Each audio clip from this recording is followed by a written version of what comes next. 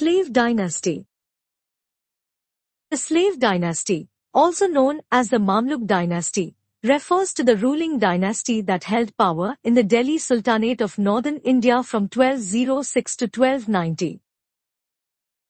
The term slave in this context refers to the origins of the rulers as slaves or individuals of non-noble birth who ascended to the position of sultans.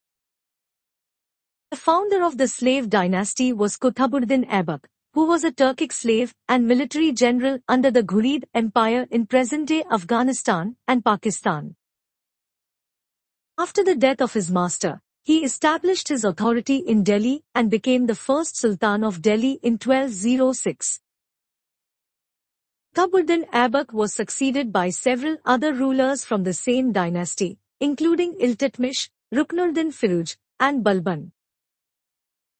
He consolidated and expanded the Delhi, in its control over various parts of northern India, including present-day Delhi, Uttar Pradesh, and parts of Rajasthan. During the slave dynasty's rule, the sultans faced numerous challenges, such as Mongol invasions, internal conflicts, and regional uprisings.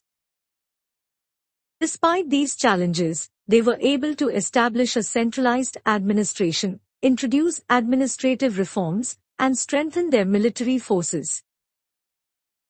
Slave sultans made significant contributions to the architecture and cultural development of the region. They built notable structures such as the Qutub Minar and the Quwwatul Islam Mosque in Delhi, which stand as architectural marvels to this day. Dynasty came to an end in 1290 when Jalaluddin Firuz Khalji, a commander under the slave dynasty, overthrew the last sultan, Muizzuddin Kaikabad. This marked the beginning of the Khalji dynasty's rule in the Delhi Sultanate. The slave dynasty played a crucial role in shaping the political and cultural landscape of medieval India.